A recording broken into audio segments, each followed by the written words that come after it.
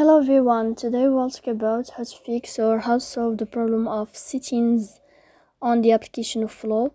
You will go to settings. Here in this page you can click on apps, default apps, app settings. When above you can search about Flo. Then you can click on first stop and you can click OK. Then here you can click on storage.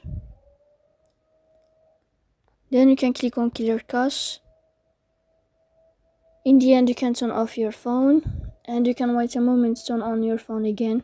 In the end you can turn off your phone and you can turn on your phone again to fix that problem. So please don't forget to support us by like and uh, subscribe. See you next time in another video. And uh, thank you for your attention and your watching.